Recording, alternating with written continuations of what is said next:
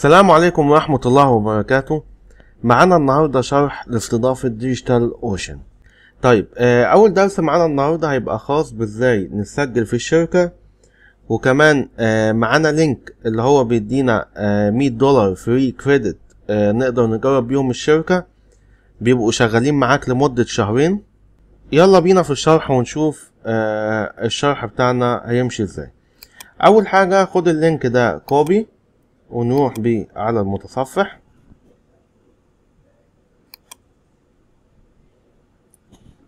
بنروح لل link مع بعض. بعد ما بنفتح ال link بيجي قدامنا المستطيل الكبير ده free credit active get started on digital ocean with آه، 100 دولار بندوس عليه. طبعا الخصم ده للمشتركين الجدد يعني آه للإيميلات الجديدة. تقدر بقى هنا تسجل إيميلك بأي طريقة ممكنة. آه على سبيل المثال أنا هختار آه جوجل بما إن هو أسهل حاجة. وهكتب هنا الإيميل وال password. بعد ما بتدخل الإيميل وال password بيحولك على طول على الصفحة دي. هو كده بالفعل الإيميل اتعمل بس DigitalOcean فيها نظام غريب شوية. إن هو أول ما الإيميل بيتعمل تأكيد هويتك عندهم أو آه verify your identity زي ما هم كاتبينها بيبقى من خلال آه الشحن اولا في الموقع. يعني أنت أول ما بتعمل الإيميل لازم آه تشحن في الموقع حتى لو بأقل قيمة اللي هي خمسة دولار. طبعا مفيش حاجة تقلق خالص. أنت هتشحن بخمسة دولار هتحصل عليهم مية وخمسة دولار. هتشحن بعشرة دولار هتحصل عليهم مية وعشرة دولار. المقصود طبعا من كلامي إن أنت بتحصل على الفري كريدت اللي هو بيديها لك المية دولار آه، إضافي على قيمة شحنك. لكن مش ممكن تحصل عليهم بدون ما تشحن. تمام؟ فأنت هنا في الخطوة دي بتحدد طريقة الدفع بتاعتك إذا كانت عن طريق كارت أو عن طريق ال PayPal على طول. وبتدفع وبعد ما بتدفع آه على سبيل لو مثلا دفعت بخمسة دولار هتلاقي نزل عندك في الحساب مية وخمسة دولار تقدر تستخدمه. طيب آه كده هعدي الخطوة دي وهفتح بقى آه DigitalOcean من حسابي القديم اللي هو بالفعل آه الحساب شغال وفي آه كريدت بالفعل علشان أنا مش محتاج إن أنا أعمل حساب جديد دلوقتي. طيب آه دخلت بقى من حسابي القديم. أول حاجة بعد ما بتدفع الخمسة دولار وبتحصل على آه النقاط الإضافية الخاصة بيك بتفتح معاك الصفحة بتبقى بالشكل اللي قدامك ده. طيب آه علشان تعمل VPS بتروح آه هنا ل create وبتدوس عليها. مش هتلاقي هنا VPS أمال هتلاقي إيه؟ هتلاقي حاجة اسمها Droplets طيب ال Droplets ده عندهم هو ال VPS هما بالنسبة لهم ال VPS أو ال RDP مسميينه هنا في DigitalOcean Droplets فأنت آه بتدوس على Droplets بعد ما بتدوس على Droplets بيفتح معاك دلوقتي بقى آه إعدادات ال VPS اللي أنت عايز تشتريه هنا نظام التشغيل الخاص بيه. آه عندك Ubuntu Fedora Debian CentOS Rocky Linux وهكذا. طيب آه على سبيل المثال أنا هختار Ubuntu إصدار عشرين point أربعة. عندك هنا آه الخطة اللي أنت هتتحاسب عليها. الأربع خطط دول ال dedicated CPU يعني آه آه CPU ليك لوحدك آه خاص مستقل. وهنا ال shared CPU وباقة ال basic طبعا آه معظم الناس أو كل الناس. كل الناس بتستخدم باقة ال basic لأن تكلفة أقل بكتير. آه أنت شايف هنا الأسعار؟ طيب لو اخترنا هنا General Purpose أسعار مختلفة تكلفة خرافية آه أعلى من التكلفة التانية بكتير. فبنختار ال basic. وعندك هنا ال CPU options بنختار ال regular with SSD وعندك هنا دي آه باقات تانية تقدر تختارها. آه يعني دي آه أنظمة تانية لل CPU لو اخترتها بتبقى التكلفة أعلى شوية. خلينا في التكلفة المعتادة هنا. أنت عندك هنا كمان ال Ubuntu بيبدأ معاك من أربعة دولار مش بس من ستة دولار. بتختار المناسب ليك. طبعا DigitalOcean من أهم المميزات اللي فيها إنها بتدعم نظام حساب الساعة. يعني آه، استخدامك بت- بتتحاسب عليه بالساعة. وتقدر تعمل VPS وتستخدمه لمدة ساعة أو ساعتين أو أكتر أو أقل كمان براحتك. وبعد كده تحذف ال VPS ده وتعمل غيره وهكذا. دي طبعا بتبقى الميزة اللي موجودة في الشركات اللي بتدعم ال VPS إنك تأجره بالساعة. تمام. آه، دلوقتي آه، آه، انت هتتحاسب فقط على ال- السعر ده في الساعة فقط تمام؟ ولو وصلت لاستخدام شهر متواصل بيبقى ستة دولار. طيب آه، دي خاصة بإضافة آه، مساحة إضافية. لو أنت عايزها بتدوس هنا على Add Volume.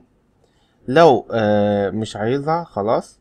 طبعا بتدوس على Add Volume وهنا آه، آه، بيبان قدامك كل مساحة والسعر الخاص بيها. بعد كده هنا آه، مكان ال VPS الخاص بيك ال data center region يعني المكان الخاص بال VPS الخاص بيك. عندك آه، نيويورك أمستردام آه، سنغافور لندن فرانكفورت تورونتو على سبيل المثال هسيبها أمستردام زي ما هي. عندك هنا بقى الحماية ال- الخاصة بال VPS الخاص بيك. تقدر تختار عن طريق ال SSH keys. وبتقول له هنا new SSH keys وبتكتب هنا ال SSH keys الخاص بيك وال name هنا وبتعمل add طيب آه لو انت مش عايز الطريقة دي وما انصحكش طبعا بيها بيبقى عن طريق ال password على طول. بتعمل هنا password لل VPS الخاص بيك بتخش بيه طبعا مع ال IP آه هنا في تعليمات لل password على الأقل 8 حروف. آه فيهم واحد capital وفيهم رقم واحد آه، ال password الخاص بيك لا ينتهي برقم أو آه، حرف مخصص. تمام. عندك هنا دي إضافات تقدر تضيفها على الباقة الخاصة بيك على سبيل المثال ال backup لو أنت عايزه بتعلم عليه وعندك اللي هنا ال IPv6 تقدر تضيفه free ال backup بس هو اللي هنا ب 1 دولار آه، 20 سنت. user data monitoring وهكذا. اللي أنت عايزه طبعا بتعلم عليه. هنا بقى how many droplets هو 1 already مش محتاج إن أنت تزود آه، أو أو تغير أي حاجة. ال host name تقدر آه، تكتب ال host name زي ما أنت عايز وهنا ال tags تقدر تكتب tag زي ما أنت عايز. طيب هكتب بقى كل المعلومات اللي إحنا شفناها دي آه، هحدد كل المعلومات دي بسرعة وهينتهي الدرس بتاعنا. على كده وهنشوف في الدرس الجاي إزاي آه إزاي بنتصل بال VPS الخاص بينا وإزاي بنظبط إعداداته وكل هذه الأمور. طيب يلا بينا بسرعة. Ubuntu basic آه ستة دولار في الشهر. مش عايز مساحة إضافية. Remove volume. المكان هخليه آه نيويورك ال password هكتب password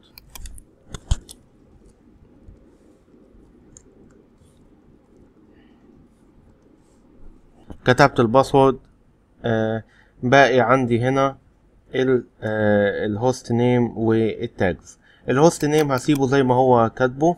ال tags هنا هحط tags من عندي.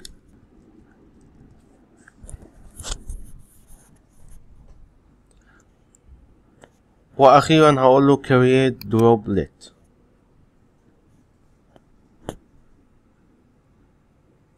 بالفعل اتعمل معانا ال droplet كده بيتسطب ال droplet الوقت آه اللي بياخده ما بيبقاش طويل خالص. هنشوف إحنا هنا في خلال آه دقايق معدودة هيخلص معانا. زي ما انت شايف اهو قرب يخلص. أنا هحاول ما جريش في الفيديو أو آه اي حاجة. كده خلص معانا تسطيب الدروبلت طيب هنشرح مع بعض دلوقتي بعض الأمور والاعدادات الهامة. اللي لازم يكون عندك علم بيها. يلا بينا. دلوقتي أنا هدوس على آه أوبنتو اللي هي ال- النسخة بتاعتنا اللي إحنا عملناها. هخش عليها علشان عايز أشرح لك بقى الأمور دي. طيب. بالنسبة للأمر ده graphs دي معناها آه هنا بيبين لك استخدامك. و select period بيبين لك استخدامك في الفترة اللي أنت تحددها له. على سبيل المثال أنا لو قلت له 6 hours كده آه، هيبين لك استخدامك في آخر 6 ساعات. وهنا استخدامك من ال processor ال CPU وهنا استخدامك من ال disk. تمام. دي كانت الأمور الخاصة بالأمر graph طيب بالنسبة لل access هي خاصة ب يعني إنك تشوف ال server أو ال droplet الخاص بيك من خلال ال console. لو دوست هنا على launch droplet console بيفتح معانا ال console. زي ما انت شايف اهو. طيب ال console ده عبارة عن آه إن هو إنك تفتح ال server الخاص بيك آه على المتصفح اللي موجود عندك على الجهاز في آه نافذة جديدة. زي ما إحنا شايفين كده. أهو هو كده اتصل بال server من خلال ال console. طيب هقفله. الباور خاصة بالتيرن اوف والتيرن اون للدروبلت وطبعا ال power بتختلف عن destroy بشكل كبير. ال power دي لو حبينا نشبهها كده هي شبه إنك تعمل shut down للجهاز الخاص بيك. أنت عملت shut down لكن ما زالت نسخة ال Windows الخاصة بيك موجودة على الجهاز. لما هتيجي تفتح الجهاز هتلاقي النسخة موجودة. تمام؟ مش هتلاقيها اتحذفت. لكن لو عملت هنا destroy destroy دي حذف كامل هي بيسموها تحطيم. حذف كامل للنسخة الخاصة بيك يعني مش هتلاقيها تاني. آه لو حبينا نشبهها برضو بال Windows دي كأنك حذفت نسخة ال Windows الخاصة بيك تماما من على الجهاز. تمام. volumes دي آه خاصة بإضافة مساحة لل server الخاص بيك. ولو ضغطت هنا على add volume بتقدر تضيف المساحة اللي انت عايزها. بتحدد المساحة وبتنزل هنا تقول له create volume. تمام. resize خاصة بإعادة تحديد ال CPU والرامة أو ال CPU وال disk وال RAM في ال server الخاص بيك. يعني مثلا لو أنت كان عندك واحد جيجا memory وخمسة وعشرين SSD و1 تيرا بايت transfer ولقيت إن ال- ال- المساحة دي مش مكفية معاك تقدر تغير الباقة اللي أنت مشترك عليها بباقة أعلى. أو لو كنت على باقة أعلى وعايز تغير لباقة أقل تقدر تعمل كده وتقدر تغير ال CPU والرامات اللي عندك. كأنك بتختار باقة من أول وجديد. طيب. networking دي خاصة بمعلومات الاتصال بال server الخاص بيك ال IP العمومي وال public gateway طيب ال backups ال backups هنا دي خاصة ب لو هتفعل خاصية ال backup في ال server الخاص بيك إن كل المعلومات اللي حضرتك بتدخلها على ال server الخاص بيك يتعمل لها backup علشان آه لو حضرتك آه يعني محتاجها ضروري أو آه ما شابه ذلك يعني.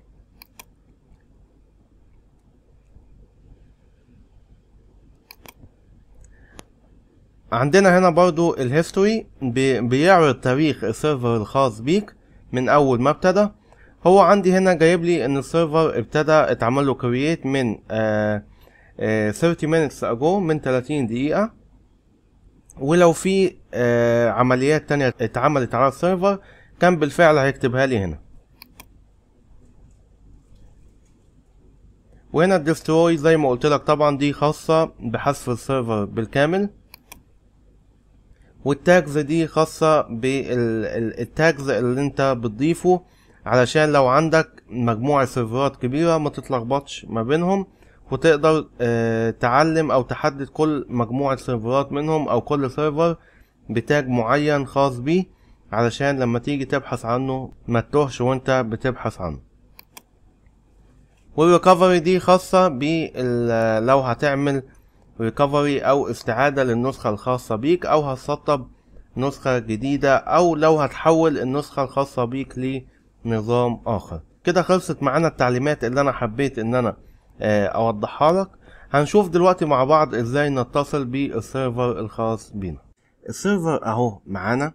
هنشوف دلوقتي مع بعض إزاي هنتصل بيه. هنخش عليه كده هندوس على الاسم بتاع ال server من هنا.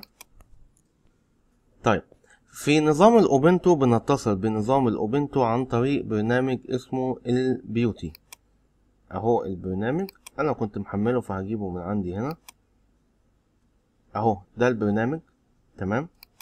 هسيب لك link تحميله برضه في الوصف اسفل الفيديو بناخد بقى هنا ال IP بتاع ال server وبنعمل له لصق.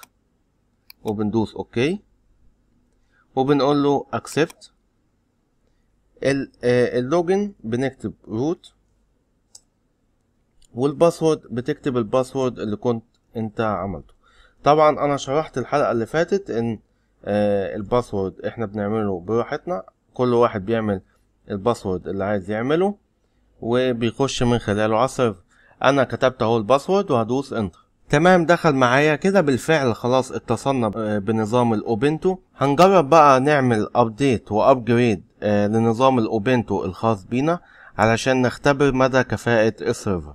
طيب آه علشان بنعمل update لنظام ال Ubuntu بنكتب الأمر التالي. هتلاقيني سايبهولك برضو في الوصف أسفل الفيديو. Apt-get مسافة update enter أهو بيعمل معانا update طيب علشان نعمل upgrade apt dash get upgrade. برضو هتلاقيني سايبهولك. enter وهنقول له آه why هو هنا بيسألنا do you want to continue? هنقول له why طبعا يعني yes.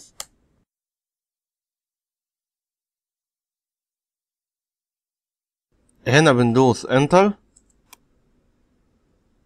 أهو بيكمل معانا. كده خلاص آه النظام بقى جاهز معانا. آه كده انتهى الفيديو بتاعنا النهاردة. أتمنى إن هو يكون أفادك. أتمنى أكون وفقت من الله سبحانه وتعالى في تقديم هذا المحتوى. آه انتظروا كثير من شروحات إن شاء الله وكل ما هو مفيد وكل ما هو نافع. شكرا ليك والسلام عليكم ورحمة الله وبركاته.